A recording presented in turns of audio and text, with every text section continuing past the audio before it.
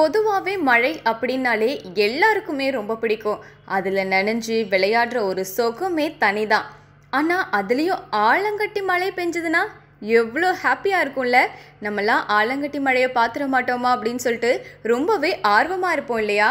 ஆனால் இப்போது தெற்கு பிரேசிலில் இந்த மாதிரி ஆலங்கட்டி மழை கொட்டி தீர்த்திருக்கு. கேட்கும்போதே செம்ம ஹாப்பியாக இருக்குல்ல? எப்படி ஆலங்கட்டி மழை இருக்கும்? எப்படி விழுகும்? அப்படிங்கிறதெல்லாம் பார்க்கறதுக்கு நமக்கு ரொம்பவே ஆர்வமாக இருக்கும். அந்த வகையில் தான் இப்போது தெற்கு பிரேசிலில் திடீர்னு ஆலங்கட்டி மழை கொட்டி தீர்த்திருக்கு. இந்த மழைனால பார்த்தோன்னா அந்த ரோடு ஃபுல்லாகவே ஏதோ வெள்ளை கம்பளம் போர்த்தியது போல இருந்திருக்கு அப்படின்னு சொல்லிட்டு நிறைய பேர் சொல்லிட்டு இருக்காங்க. அண்ட் இதை பார்க்கறதுக்குமே ஆக்சுவலி அப்படி தான் இருக்குது. ரோடு ஃபுல்லாகவே பார்த்தோன்னா வெள்ளை கம்பளம் போர்த்தியது போல தான் இருக்குது. ஏற்கனவே லாஸ்ட் இருபதாம் தேதி தெற்கு பிரேசில்ல உரைப்பணி ஏற்பட்டிருக்கு. இதனால கிட்டத்தட்ட சுமார் நான்கு லட்சத்தி தொண்ணூத்தி அஞ்சாயிரம் பரப்பளவுல பயிரிடப்பட்ட காப்பி செடிகள்லாம் நாசமாகி இருக்குது ஓரளவுக்கு மழைனா பரவாயில்ல ஆனா இப்படி மழை கொட்டி தீர்த்திருந்ததுன்னா அங்க இருக்க மக்களும் சரி அங்க இருக்க விவசாயிகள்லாம் ரொம்பவே கஷ்டப்பட்டிருப்பாங்க.